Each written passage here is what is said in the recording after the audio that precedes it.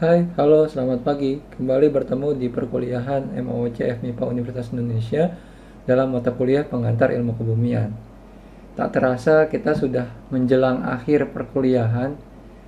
Sekarang sudah masuk minggu ke-13 dengan topik posisi bumi di alam semesta. Untuk materi yang pertama, kita akan membahas tentang awal mula astronomi. Oke, jadi kalau berbicara tentang astronomi di awal-awal, maka kita akan langsung membahas atau teringat tentang bagaimana peradaban yang ada di Yunani kuno. Jadi astronomi adalah ilmu yang mempelajari alam semesta. Ini termasuk pengamatan dan interpretasi benda langit dan fenomena-fenomena lainnya. Orang Yunani menggunakan argumen filosofis untuk menjelaskan fenomena alam. Selain menggunakan filosofis, orang Yunani juga menggunakan beberapa data pengamatan. Nah, ini kita bisa lihat bagaimana orientasi matahari di Siena, di Aswan, dan di Alexandria di Mesir nah, pada 21 Juni. Dari data ini, Eratosthenes menghitung keliling bumi.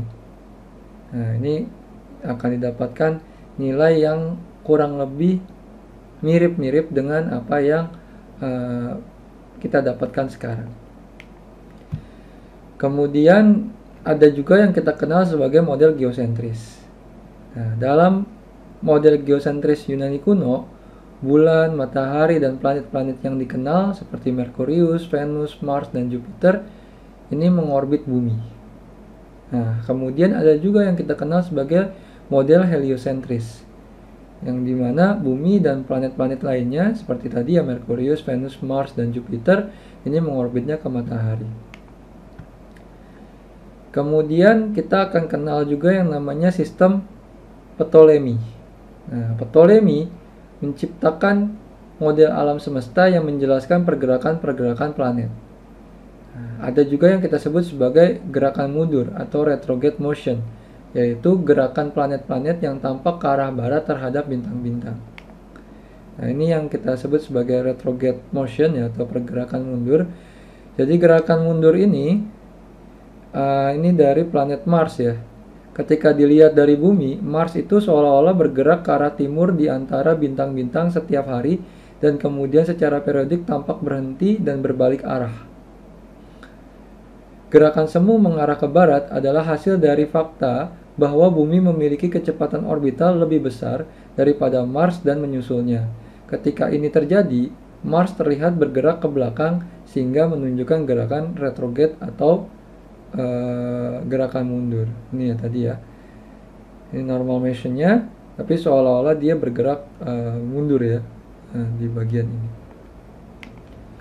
Oke, kemudian yang berikutnya setelah kita membahas tentang peradaban Yunani kuno, kita akan mencoba membahas bagaimana kelahiran dari astronomi modern. Yang pertama, mungkin teman-teman juga sudah familiar dengan namanya yaitu Nicolaus Copernicus dan Nicolaus Copernicus ini dijadikan nama eh, sistem satelit di Eropa saat ini. Oke, jadi Copernicus ini menyimpulkan bahwa bumi adalah sebuah planet. Dia mengusulkan model tata surya dengan matahari di pusatnya dan salah satu yang menjadi rujukan Galileo Galilei dalam uh, pengamatan bahwa memang bumi ini merupakan uh, mengelilingi dari matahari atau dia percaya dengan uh, teori dari Copernicus ini. Yang berikutnya ada Tycho Brahe. Nah, Tycho Brahe ini merancang dan membangun instrumen untuk mengukur lokasi benda-benda langit. Pengamatan Brahe, terutama Mars, jauh lebih tepat daripada yang dilakukan sebelumnya.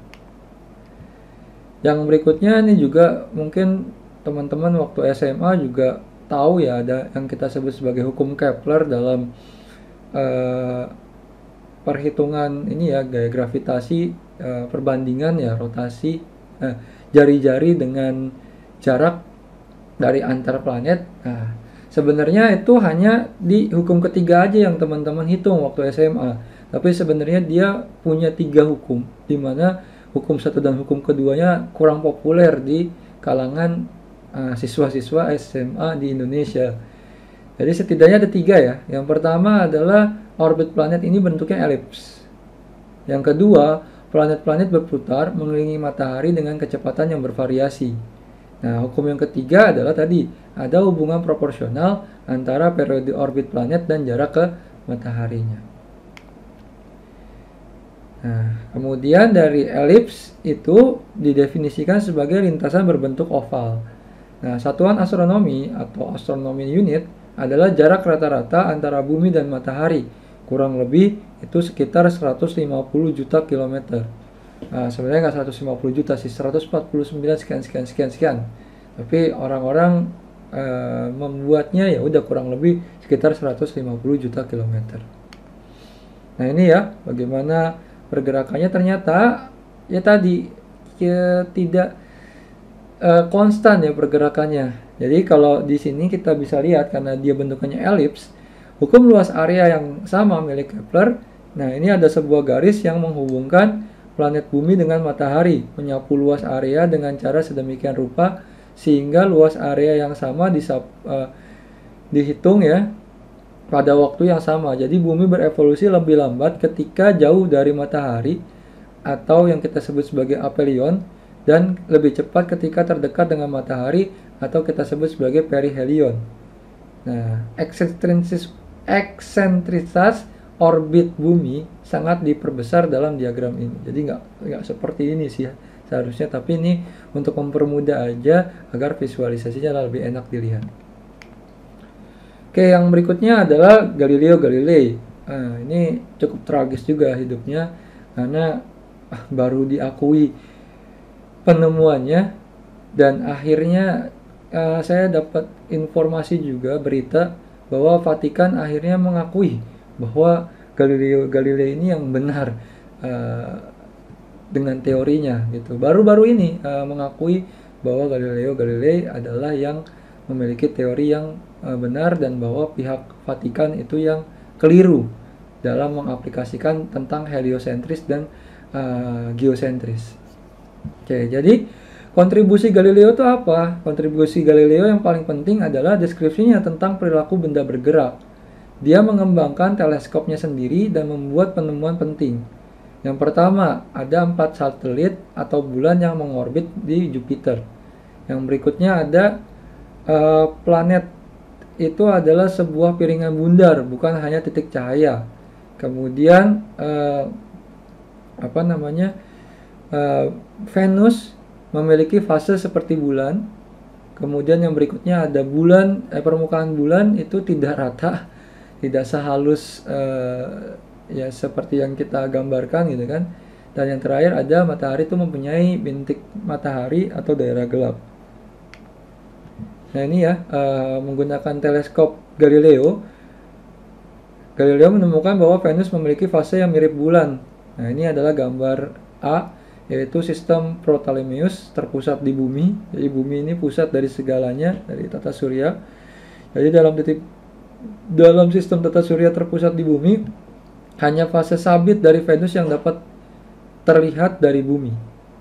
Nah, ini adalah uh, sistem Kopernikan ya dari uh, Nicolaus Copernicus meyakini bahwa pusatnya itu bukan bumi tapi matahari.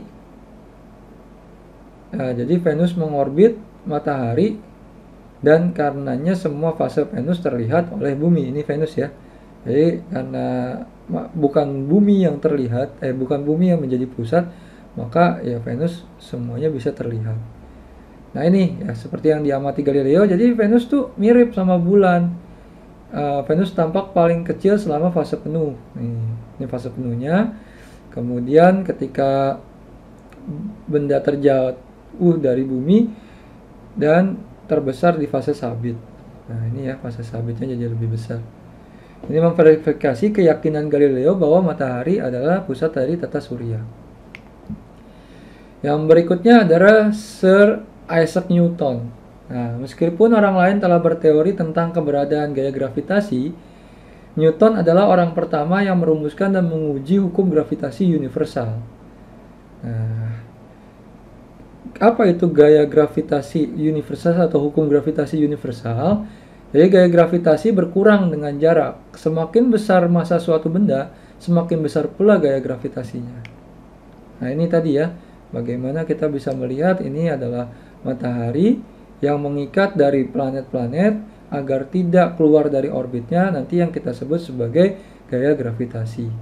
Nah, ini adalah uh, kalau seandainya planet kok tidak apa tidak terpengaruhi oleh gravitasi, maka otomatis dia tidak akan terjaga jaraknya.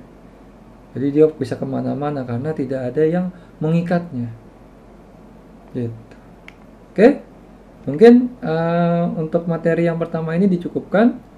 Kalau ada pertanyaan silahkan ditanyakan di kolom komentar dari YouTube channel ini. Uh, bisa kemudian bisa uh, mengerjakan kuis baik itu di Idols ataupun di Emas 2 dan untuk bisa melanjutkan ke materi selanjutnya. Demikian, bila taufik wal hidayah, walau Assalamualaikum warahmatullahi wabarakatuh. Selamat pagi, sampai ketemu di chapter selanjutnya. Terima kasih.